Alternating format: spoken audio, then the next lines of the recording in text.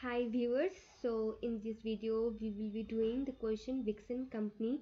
In previous video we have already been dealt with the hevaco company right? So in this video we will do the vixen one. So the question have the requirement like difference between the uh, risk and uncertain uncertainty in relation to the investment appraisal. तो आपको पता होगा कि इसका difference क्या है कि you must have been gone through the book यहाँ पे रीड किया होगा। तो मैं बेसिक चीज़ बताते बता देती हूँ and I must say you guide you guide should try by yourself to write the answer okay तो अब रिक्स जैसे कि लाइक अब सपोज़ आप छत पर से गिरोगे फॉर एग्ज़ाम्पल हाँ। तो गिरोगे तो क्या होगा? आपको पता है सर फूटेगा, पैर टूटेगा, है ना? बच्चों बच्चों की भी नहीं? पता नहीं मतलब है ना? तो वो सब क्या आपको आउटकम्स पता है है ना? तो वो चीज़ मतलब रिस्क में वही होता है। आउटकम आपको पता है प्रोबेबिलिटी के थ्रू असाइन करके उसको आप लोग मिटिगेट कर सकते हो। ऐसा होता है इन्वेस्टमेंट अप्राइजल के पॉइंट ऑफ़ व्यू से देखे तो। वेर एज अनसर्टेनिटी में क्या होता है, हमको आउटकम नहीं पता है। जैसे कोरोना वायरस आया, किसी को पता था क्या? नहीं ना। वो चाइना में किसी ने प्रोडिक्ट किया था दैट्स वो डिफरेंट थिंग बट मतलब लाइक एक पता नहीं ऐसा भी कुछ होगा फ्यूचर में करके किसी को पता नहीं था ना। So that's uncertainty like you don't know the outcomes and that cannot be quantified through the mathematical model okay so ये basic difference है and तीन marks के लिए I must say कि आप लोग try करो and try it by yourself and writing uh, habit करो as so that कि exam में easy हो okay so next is to calculate the expected NPV of the investment project and uh, comment on its financial acceptability uh, and on the risks relating to the variable cost अब uh, one more thing I would like to mention here is that the most of student uh, the common mistake which the which most of student do is they forget to comment on its financial accept, uh, acceptability which also carry a marks between 0.5 to 1 so just don't lose this silly silly uh, don't lose a mark by doing this kind of silly mistakes so be careful okay तो NPV अभी हम निकालेंगे and next requirement is to critically discuss how can be how risks can be considered in the investment appraisal process okay So there are various method like to incorporate the risks in the investment appraisal uh, you might have been gone through the chapter uh, and you might have been found that sensitivity analysis uh, uh adjusted uh, uh, adjusted payback probability analysis risk adjusted discount rate so you need to explain this all method and it's carrying eight marks so ठीक है अच्छे से करना इसको इसको मैं explain करूँगी कोई फ़ायदा नहीं है। लाइक आप बुक पढ़ो make reading habit it's very important काफ़ी बच्चे मेरे से क्वेश्चन पूछते रहते हैं लाइक थ्योरी पोर्शन में कैसे करूँ, मैं बस न्यूमेरिकल कर लिया।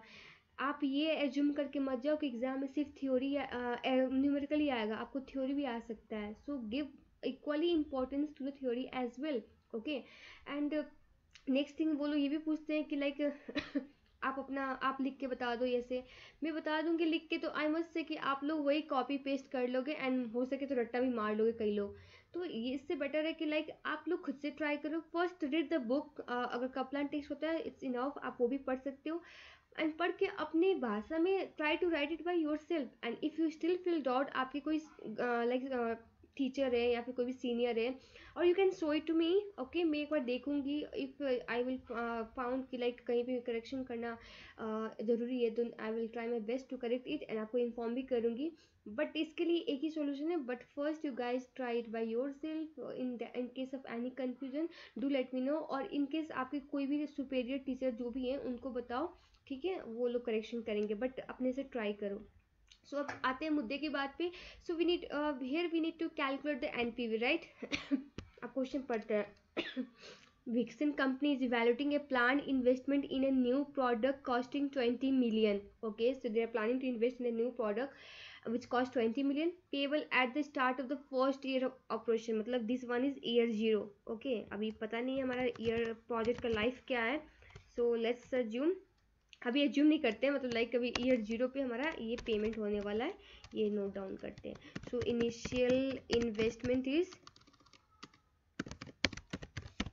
it's it's it's twenty thousand मैंने थ्री ज़ीरो पर कॉमन ले लिया है okay and the product will be produce for the four years so life of the product is four years right uh, at the end of the which production will cease and investment project will have a terminal value of zero. Terminal value means residual value which will be zero. Okay fine. A financial information relating to the investment project is as follow. Okay so first we have given the unit and we have taken 30 common. So we want consider uh, 30 here. Uh, last 30 and 400 oh okay so this is our unit right? After that selling price per unit given okay and fixed cost also given. This selling price has have not been adjusted for the selling price inflation which is expected to be 3.5 percent. Annual fixed costs are given above in the nominal terms okay. So basically uh, selling price is in real term okay. And this is the case of a specific in, uh, inflation and you might guys have been wondering how I came to know. So so, आपका in selling price एक rate से inflate हो रहा है and variable cost एक and fix cost एक. दे अगर ओवरऑल एक ही रेट से सारा इन्फ्लेट होता उसको we use to call it as a general inflation but here selling price is inflated by one rate and variable cost by one rate and fix cost by other rate so this is the case of a specific inflation and when the specific inflation is given in the question I must say you guys use the nominal method okay अब nominal method मुझे बताने की ज़रूरत नहीं है आप लोगों ने बुक पढ़ा होगा मेरे से अच्छे से पता होगा आपको। Okay this is the selling price in the real term okay now selling price in nominal terms right and how we will get that first select the nominal term of and uh, respective year and multiply 1 plus with the inflation rate which in our case is 3.5 percent. And for the power you can put 1 or just select the this cell uh, like year 1 okay? Okay? Okay so this is for the selling price inflated value. And we will copy and paste it over the year. And let's take it to the two decimal place. Okay done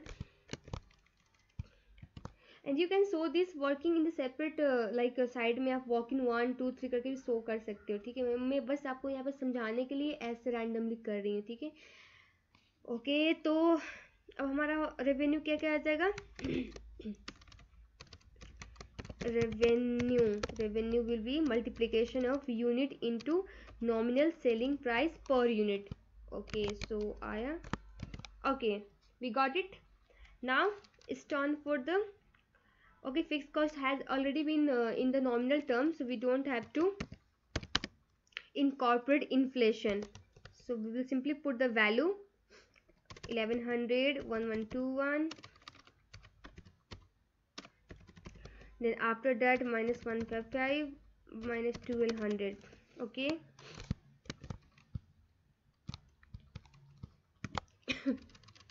now variable cost per unit okay selling price per unit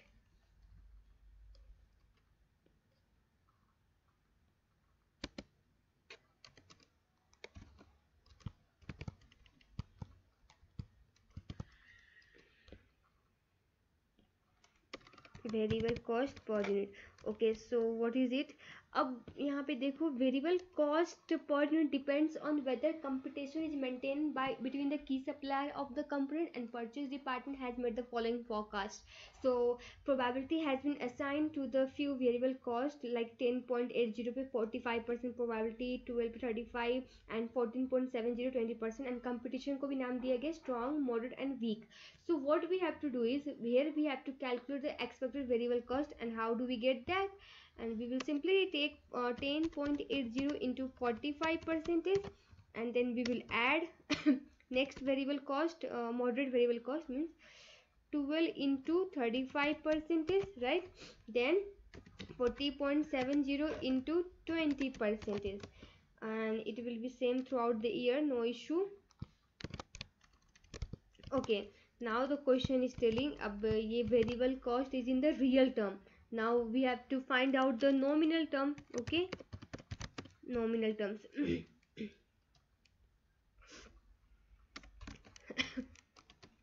And how do we get that? Uh, what is the nominal rate?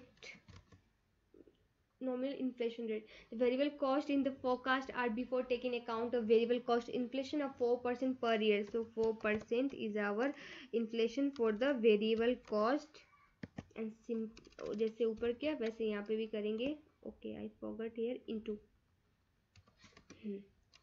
okay so be careful bracket डालते वक्त otherwise silly mistake से वैसे भी आपको zero point five mark lose कर सकते हो। सो be careful okay सावधानी हटी तो दुर्घटना घटी। Okay so we will deduct here variable cost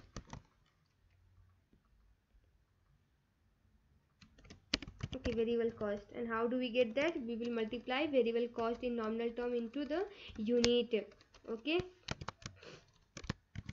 Okay now uh, we will calculate contribution. We have contribution and it will be this. Okay. Okay so now taxable cash flow copy shift paste okay Vixen company claim tax allowable depreciation on 25% per year reducing balance basis on the full investment cost 20 million and pay corporation tax at 21 28% one years in areas okay तो अब यहाँ पे हम लोग क्या करना है क्या टैक्स निकालेंगे so less tax mine into zero point twenty eight copy and shift paste okay, now tax relief. Okay tax relief में अभी एरियर्स पे आए नहीं है सो so अभी हैव ए पैसेंस ठीक है? अभी मैं बताती हूँ। तो अब टैक्स रिलीफ के लिए residual value is zero already telling the question terminal value is zero so tax relief में uh, हम लोग इन्वेस्ट कितना करें? ट्वेंटी थाउज़ेंड मैं शॉर्टकट लगा रही हूँ ठीक है? मैंने प्रीवियस वीडियो में एक्सप्लेन किया हुआ है how to calculate the tax relief by shortcut as well as through the process so go through that video एक बार वॉच कर लेना okay so this is 20000 our tax relief and what is the tax percent we got? Uh, uh, tax allowable depreciation 25 and tax rate 28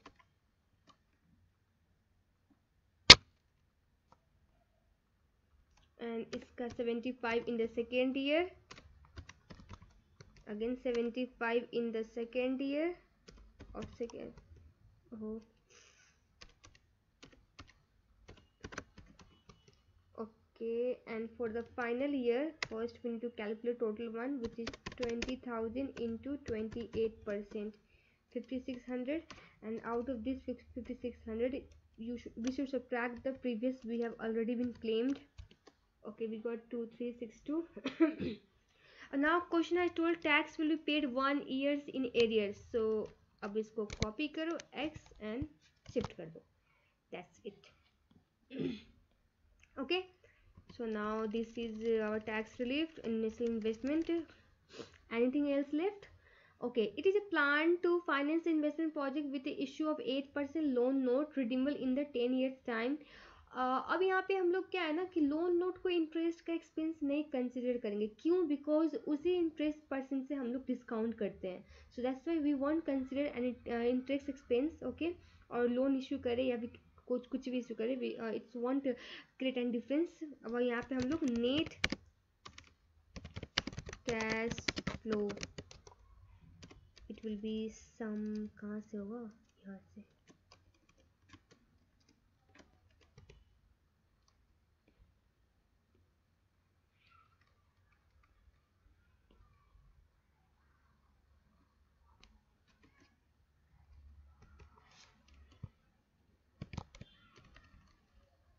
okay okay.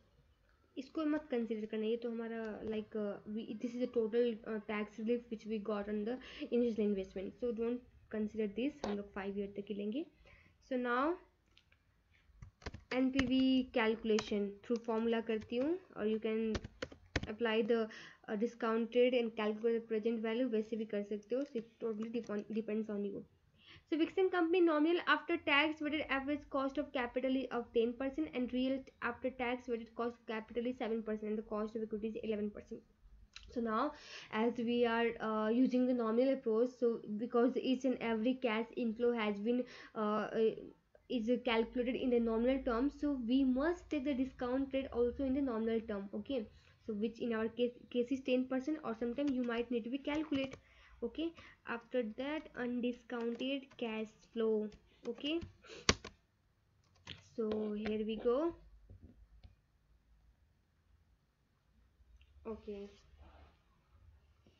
So point की वजह से कुछ difference आ रहा होगा बट अप्रोच इज़ यही, इस, ऐसे ही आपको फॉलो करना है अप्रोच आपको, ठीक है?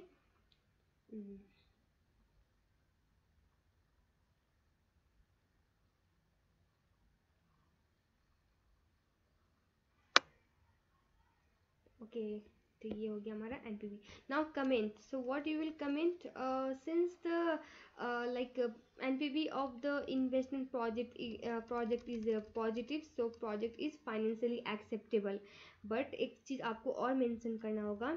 So as the variable cost is given as there is probability assign to the variable cost and our expected variable cost in our calculation is twelve ठीक है? But what if it's go to ten जिस पे उसका forty five percent probability उस chance को होने का, तब तो हमारा एनपीवी में डिफरेंस आएगा, ठीक है? आप चाहो तो कैलकुलेशन करके भी दिखा दिखा सकते हो अदरवाइज़ बस वहाँ पे कमेंट में मेंशन कर दो कि डिफरेंस आएगा दैट सफिशियंट ठीक है? बट आपको उसके लिए भी मार्क्स मिलेंगे यहाँ पे क्लियरली बोला हुआ है on the risks relating to the variable cost तो ठीक है? सो ये आपको यहाँ पे कमेंट ऐसे करना होगा. सो इन दिस वीडियो यहीं तक करते हैं. नेक्स्ट वीडियो में हम लोग करेंगे बाकी के क्वेश्चन ठीक है?